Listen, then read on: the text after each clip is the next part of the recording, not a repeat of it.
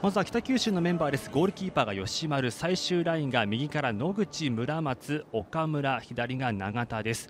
ダブルボランチ針ヶ谷と長野。そして右高橋左が荒垣。前2人は佐藤と富山です。アウェーの水戸のメンバーです。ゴールキーパー新江川センターバックがタビナスと住吉。右サイドが柳沢。左が貫井です。アンカーのポジションに平野そしてインサイドハーフ木村と新座と右に安藤左が松崎ワントップ中山と予想しています。新里から中央木村預けて入ってくる。右に振って柳沢自分で行くか、うん。下げて浮かせた。ここはよく狙ってきました。ゴールキックです。テクニカルなあよく周りを見えているそんなシュートでしたけどもゴールが欲しいですね佐藤は。そうですね。中山。うまく預けた。安藤。さあ前が空いている。中に入ってくる。自分で打つか。安藤シュートはクロスバーの上。捉えきれませんでした。ストライカーですね。的確についていけると面白いですね。縦パスが入った。佐藤亮、うん、ここを松崎は読んでいました。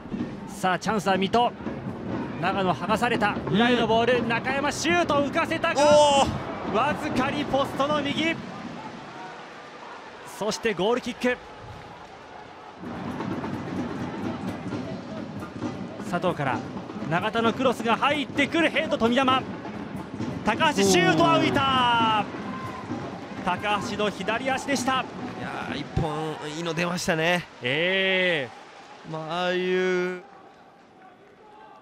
まああの引きで、えー、その背後を取ったところからキーパーと1対1になりましたけども、えー、タイミングよくボール引き出しては、えー、前線で、えー、円滑剤というような、ねえー、役割を果たせてましたね。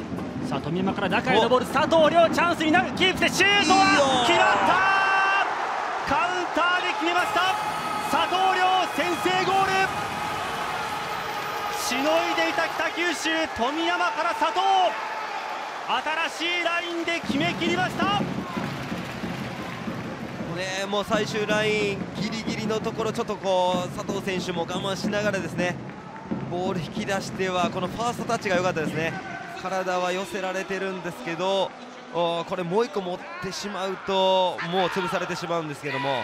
タイミングよくボール引き出しては自分の好きな形ですよね。奪って柳沢中央平野から預けて柳沢新座とヒールパス山根シュート狙いに行ったんですがここは水戸のチャンス背番号4のタビナスそして2番の住吉長身の選手。キッカー貫井中央へ入ってくるこぼれてさあどうか？そのままゴールに吸い込まれました。同点ゴール、うん、何かエリアの中で少し間があった中でゴールが決まって。まあ、意図的なあのシュートではなかったと思うんですが、あ永田ですかね、ね、はい、右流れていきますが左は山根。ここは永田が対応しましたが二次攻撃。さあチャンスになる。中に入ってくる。クロスが入ってシュート！あっという間に勝ち越し。新里の勝ち越しゴールここで一気に水戸が動かします。わずかな時間で水戸が2点を取りました。また切り替えて奪い返しに行くっていう姿勢はチームとして持っているのでこのまましっかり流れたっていうところでまたチャンスがその先に生まれましたよね。山根が打ってきた。キーパーパンチング。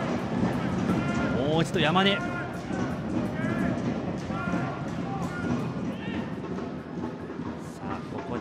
裏へ中山抜け出してくる。チャンスになる。岡村が対応する。中山ステップから打てるか？角度を変えてシュート！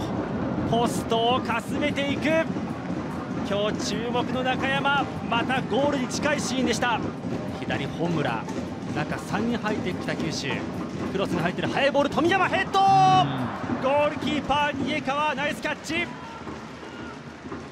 富山の同点ゴールを狙うようなヘディングでした戻した。ここで試合終了。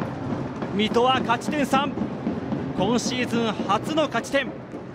そして北九州は開幕戦。この第2戦も勝ち点を挙げることはできませんでした。